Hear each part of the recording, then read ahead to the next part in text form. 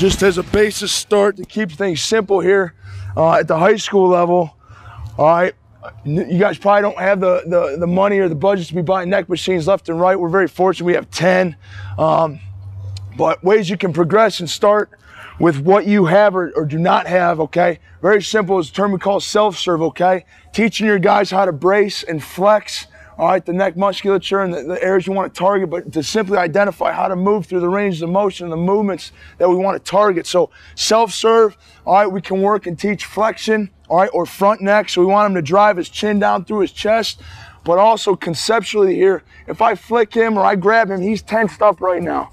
All right, the thought process is if I'm gonna choke you out right now, you're gonna fight getting choked. So flexion would be in the front, We'll have him roll his eyes through the back of his skull. Try to look at your brain.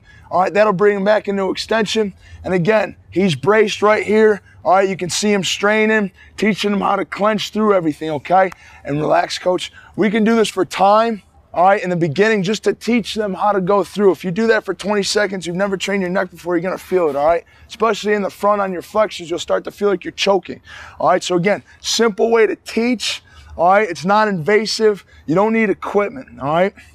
From here, once once we can teach kids how to move, we can start moving into some isometric positions. Okay, so I'm gonna have Coach lay on the ground here.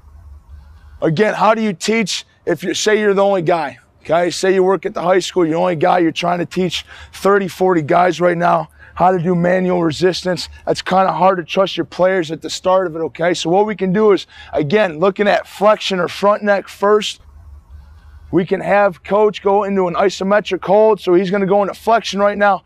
Coaching cue, drive your chin into your chest this whole time. Okay. Now I really care about Coach Buke right now. So as I talk here, we're going to leave him sitting this. All right. The thing about this is now again, how do you progress this? All right. We can start with four 15 second holds. Okay. That would be day one. Next second time you come back, four sets of 30, okay? You can work up to four sets of one minute if you want, all right? Just holding it in an isometric position like this. The flip side now, all right, when you start to get into manual resistance, all right, manual resistance, all right, the guy operating it, okay, so if I'm running it, I have to know how to operate manual resistance. But this guy who I'm training right now, he's got to understand manual resistance too, okay? So again, I'm going to leave Coach Buke here while we, we teach manual resistance because I care about him so much. All right, so manual resistance, all right? Again, talk about tension, okay? So at the start of the movement, all right, we'd put Coach Buke into neutral. You can relax, Coach, go to neutral.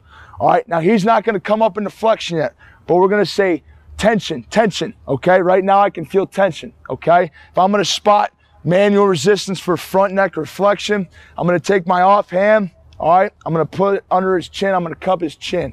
This is gonna allow me to feel pressure through the range of motion from the get-go, which is what I want, because I want him driving his chin actively through his chest.